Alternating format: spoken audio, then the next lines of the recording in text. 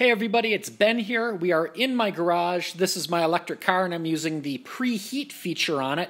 So we're looking at this with a thermal camera right now. You really don't want to look at me with a thermal camera because I look all weird like in the movie The Predator. But if we take a look at the car, we can see it's relatively cold outside, but inside the car it's nice and warm because it's already blowing hot air. I'm actually using the, uh, the defrost mode right here. Uh, so instead of putting the heat by the feet, it's putting it up onto the glass.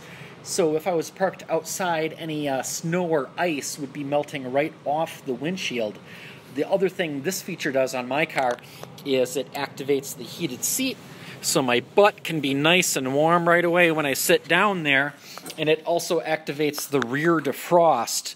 So uh, any snow and ice on the back of the car, that is going to melt right off as well.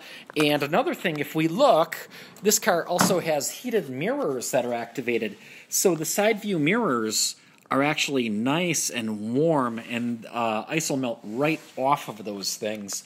So being able to preheat your car uh, before you hop in it is just a fantastic feature of uh, pretty much all modern commercial electric vehicles.